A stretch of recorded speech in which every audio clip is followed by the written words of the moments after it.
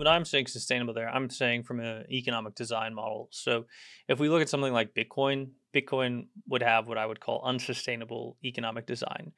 And the reason for that is uh, effectively chain security is what you pay the miners. And right now, the miners are majority being paid still by block subsidies. And as the block subsidies subsidies continue to decay, they need to be replaced by revenues through transactions. But there's no ability to really increase the number of transactions that Bitcoin can handle. So the only way to increase revenue is by actually increasing fees per transaction. The question is, can you know if, if we want to maintain security, can I find five TPS worth of people that are willing to pay a thousand dollars per transaction because that's what I'm going to need sort of in the future if I want Bitcoin to remain sustainable in terms of its economic security. So my sort of thesis is you're not going to find that. And so what you have to do is to maintain economic sustainability or uh, obtain economic sustainability in a work-based system is you need to maximize the utility for the greatest number of people to generate the greatest amount of revenue that goes to the miners to get the greatest economic bandwidth in the system, so to speak. And and you do that through scaling, and you do that through creating a utility like uh, Qi, the energy dollar, and through Quai, you know, programmable uh, sort of DeFi. The thing about using energy, like using energy, is not bad. The question is, how much energy are you using to accomplish something of economic value, right? I would argue that Quai can scale to replace the banking system, the finance system, insurance, and stocks. If we were to add up what that composes of GDP, it's something like 30%.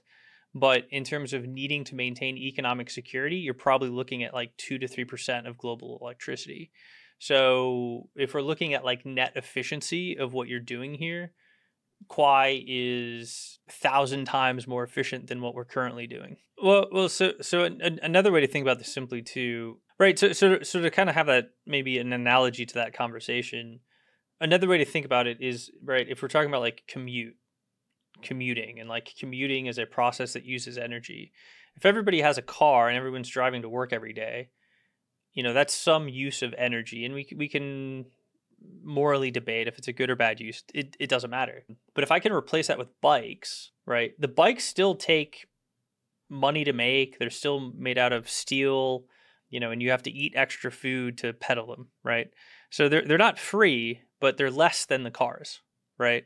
And then maybe if I go down one level and I say, okay, well, I don't actually have to commute anymore. I'm just going to zoom in to work. You know, that's probably less energy intensive than biking, right? But I'm still paying for electricity. I'm still paying to run servers. I'm still paying for the infrastructure of the internet. So it's still not zero, but it's more efficient than biking, which is more efficient than driving a car. So, so in that analogy, I'm just saying, like, what is the current system?